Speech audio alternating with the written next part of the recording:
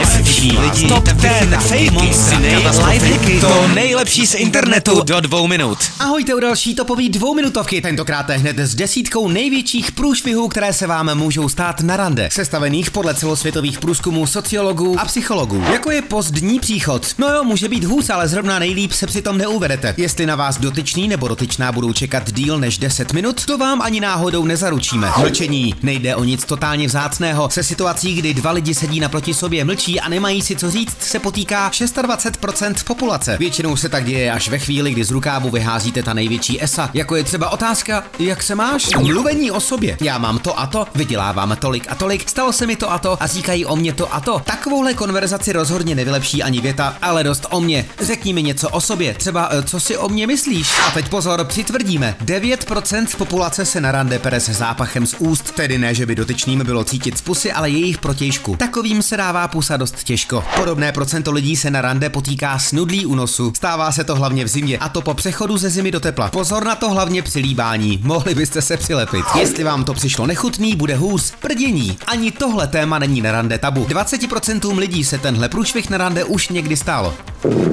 Zapomenutá peněženka. Světou moc rád bych zaplatil, ale víš, zapomněl jsem si doma peněženku. Se podle odborníků potrápilo už 7% populace. Pochopitelně hlavně muži. A mezi náma nevylepšili to určitě ani větou, zaplať to ty, já ti pak ty peníze pošlu na účet. K tradičním fopa patří i to, když chcete dát svému novému protějšku pusu moc brzy. Když ten druhý pak uhne, už se dalšího pokusu z vaší strany asi hned tak nedočká. Nejvíc se trapasy stávají hned na prvním rande, obzvlášť když řeknete vašemu protějšku jménem vaší bývalé nebo bývalého. Podobný průšvih je, když po hodině povídání s ní nebo s ním zjistíte, že si nepamatujete jeho nebo její jméno. No a může být vlastně někdy hůz? Jo, může. Stačí, když vás při takovém randění s novým objevem načape vaše dlouholetá přítelkyně. Tak jaký nejprůšvih se stal na rande vám? Dejte koment, like, odběr se zvonkem a zase pozítří. Adios amigos. Čus.